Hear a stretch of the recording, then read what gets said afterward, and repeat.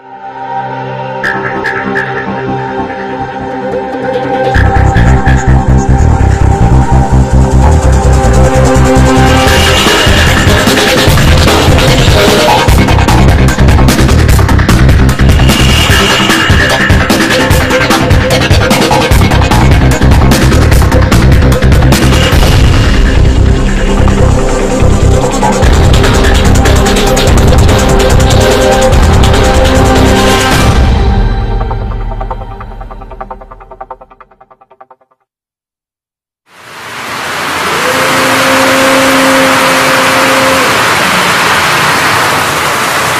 El uso de madera de pequeñas dimensiones, unida mediante colas, da lugar a un material más estable dimensionalmente y ofrece una mejor respuesta estructural.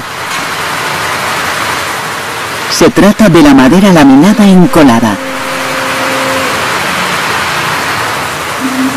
Las primeras noticias que se tienen del uso de este material datan del siglo XVI, cuando el arquitecto francés Filiberto de Lorme trasladó la técnica constructiva de la piedra a la madera sin utilizar cola.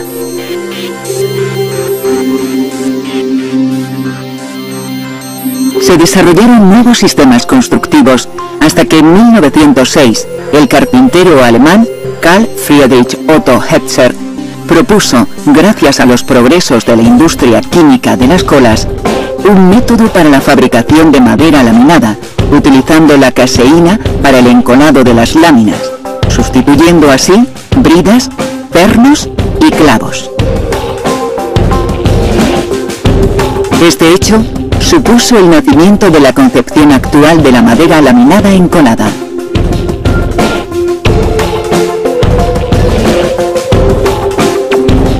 Actualmente el consumo medio anual de este material en los países europeos se sitúa en torno a los 5.500 metros cúbicos por millón de habitantes, siendo Noruega y Finlandia, con 12.000 y 7.000 metros cúbicos respectivamente, los dos países de mayor consumo por millón de habitantes. El bajo peso de la madera frente al acero o al hormigón para cubrir grandes luces hace de este producto un material muy competitivo. La fabricación de piezas de grandes dimensiones. La obtención de piezas libres de defectos. La posibilidad de fabricar piezas de sección variable, de directriz curva y su alto valor decorativo son algunas de las características de este producto.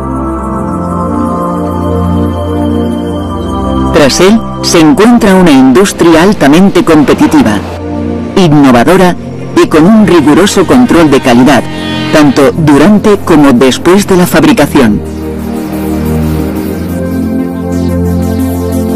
El diseño de la estructura se genera en el gabinete de proyectos. Conocidas las necesidades, los ingenieros se encargan de determinar las secciones de las vigas, y diseñar los arcos y las correas, utilizando para ello complejas herramientas informáticas que validan el cálculo de la estructura. No se improvisa nada y todo el mecano, incluidos los herrajes, pernos y tornillos, también se calculan. Tras el cálculo, comienza la producción. En el taller de cerrajería, los elementos metálicos pasan del diseño a cobrar vida. Los chapones se cortan, taladran y sueldan. Por último, se fincan o galvanizan e incluso en ambientes muy corrosivos se fabrican en acero inoxidable. Las maderas utilizadas para la fabricación de piezas laminadas también se someten a un tratamiento de protección. Cuando las estructuras se ubican al exterior, el tratamiento de protección a utilizar es en autoclave sobre las láminas y nunca sobre la pieza encolada.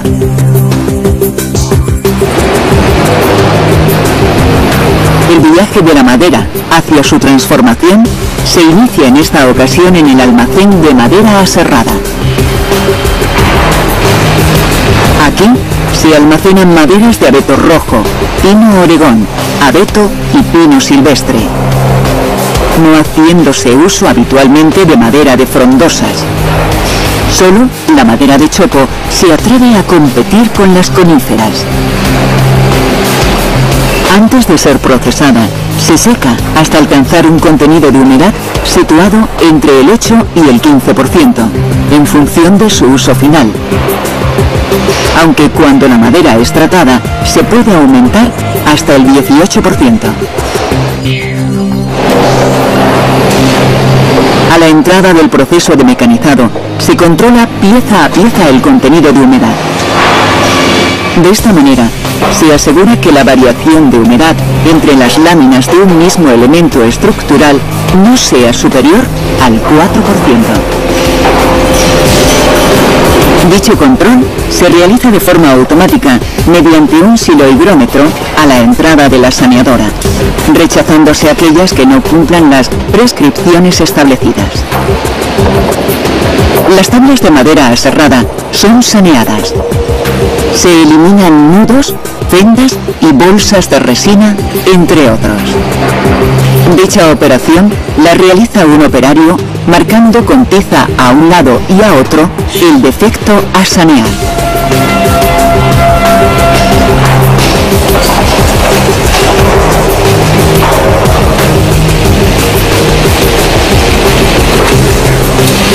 Una sierra de disco, provista con un lector óptico, posiciona la madera sobre los trazos marcados, eliminando los defectos incluidos.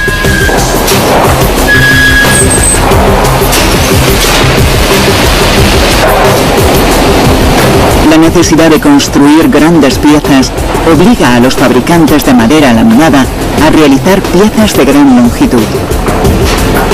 Para ello, se utiliza el sistema de uniones dentadas. Estas se realizan mediante máquinas rotativas que intervienen sobre las cestas de las piezas, ya sea en disposición horizontal o vertical.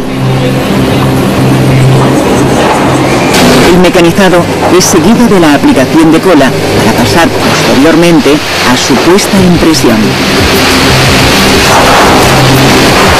Las colas de caseína, urea y resorcina son las más utilizadas, aunque poliuretanos, vinílicas, fenólicas y epoxi también pueden ser empleadas.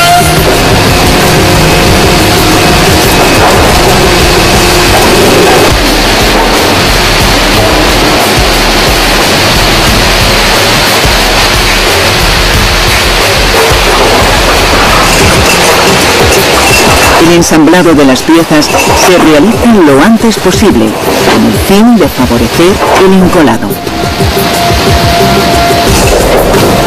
Para lograr el ensamblado se recurre a sistemas de presión en la dirección paralela a la fibra. La presión para la mayoría de las especies de coníferas utilizadas en la fabricación de madera laminada encolada se sitúa entre 2 y 5 newton por milímetro cuadrado, cuando la longitud de los dientes sea mayor de 25 milímetros, mientras que para longitudes de dientes inferiores se necesita una presión entre 5 y 10 newton por milímetro cuadrado. Si estos valores se sobrepasan, pueden provocar fisuras en las zonas mecanizadas. El tiempo de presión mínimo es de 2 segundos. La perfección del mecanizado y la acción de la cola permite el traslado de las láminas para su posterior procesado.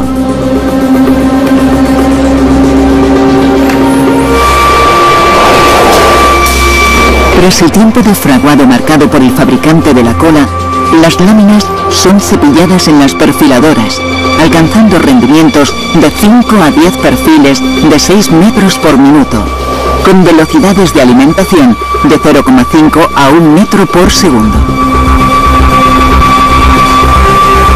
Una vez cepilladas, Las láminas son encoladas mediante enconadoras de rodillos o de extrusión, aplicando gramajes de cola entre 400 y 500 gramos por metro cuadrado, asegurando así un reparto de cola correcto.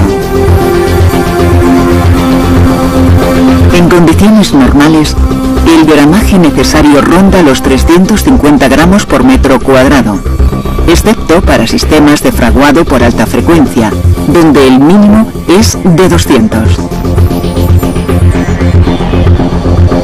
El encolado se realiza en un plazo no superior a 24 horas después del cepillado, ya que los cambios superficiales de las láminas pueden provocar una adherencia deficiente. la madera comienza a adquirir vida con el armado.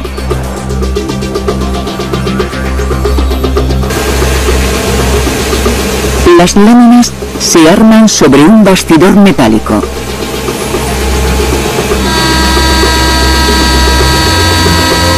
La presión se aplica de forma mecánica, neumática o hidráulica.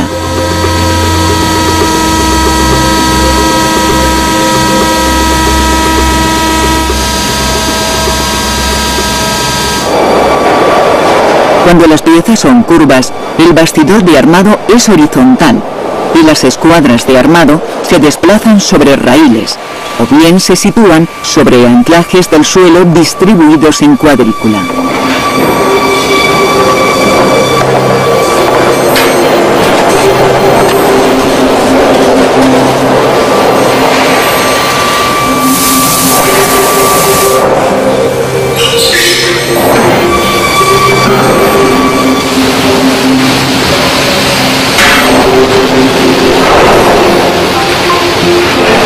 Cuando se utilizan mecanismos de presión neumáticos o hidráulicos, una vez que se alcanza la presión de prensado son retirados, manteniendo la presión mediante pasadores o vástagos roscados.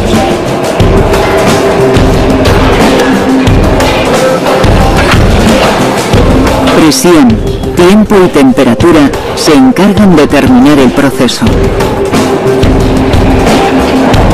La presión es comprobada durante el tiempo de fraguado es corregida a medida que la madera cede.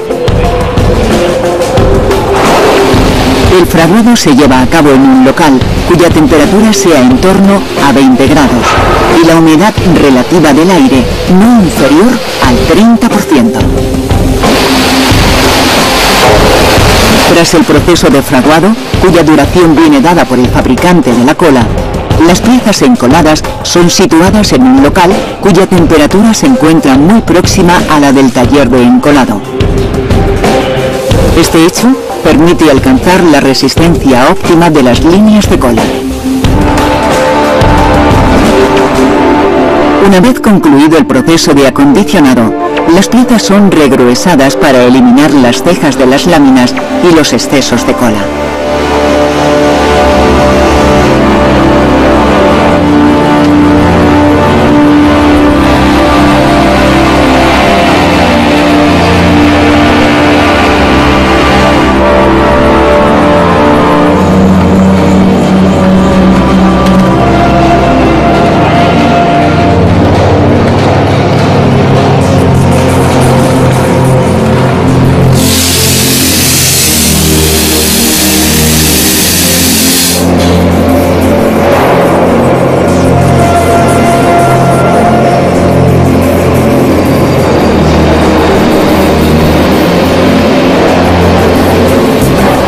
Pieza está lista para albergar el mecanizado de los herrajes de anclaje y unión.